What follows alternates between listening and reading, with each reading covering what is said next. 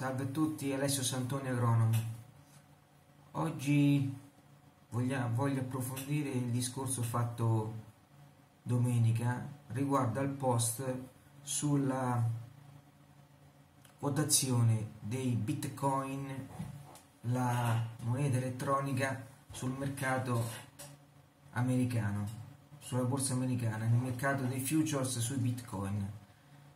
Beh, oggi il Bitcoin ha fatto variazione del giorno più 3% quasi, mentre il Litecoin ha fatto un più 226% in 7 giorni.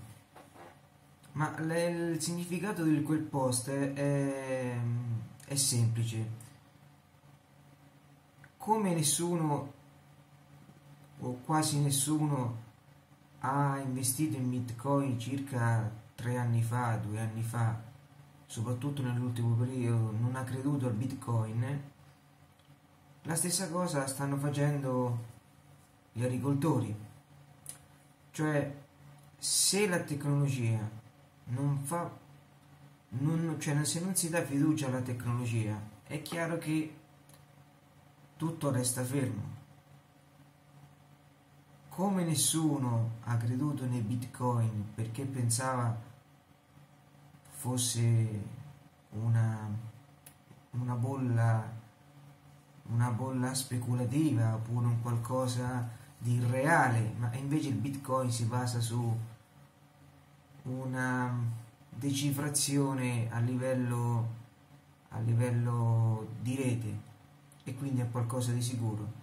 La stessa cosa devono fare gli agricoltori, cioè devono cercare di migliorare non solo a livello tecnologico le loro aziende, ma anche a livello di gestione dell'azienda e quindi di approccio al mercato e all'immissione sul mercato dei propri prodotti.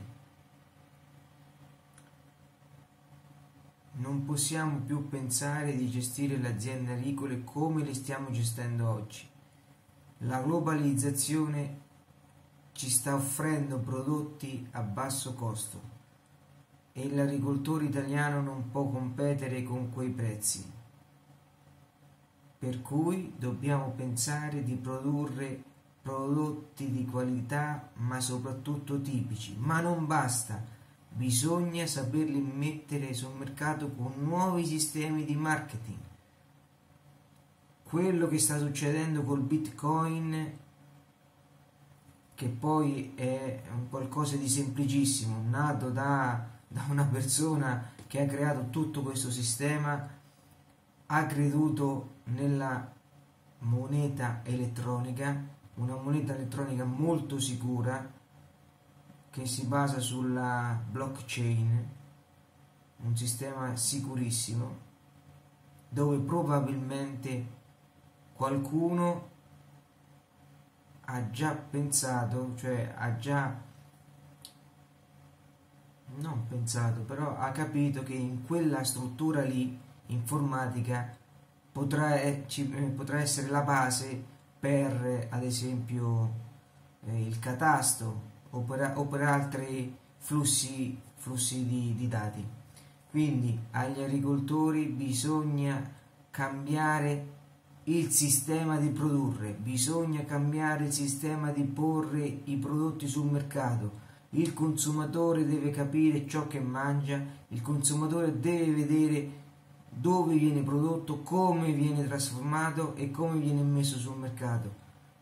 Oramai tutto è globalizzato, qualsiasi persona oggi può prendere un prodotto alimentare e portarlo in, in qualsiasi posto del mondo lo acquista da un continente e lo trasporta dall'altro continente.